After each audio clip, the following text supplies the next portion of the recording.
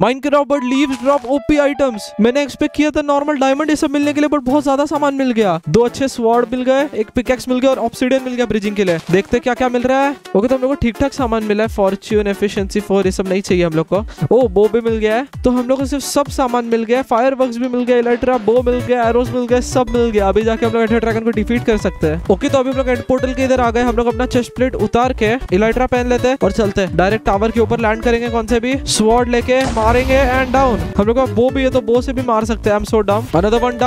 ये साइड का भी गया दिस वन डाउन ये भी डाउन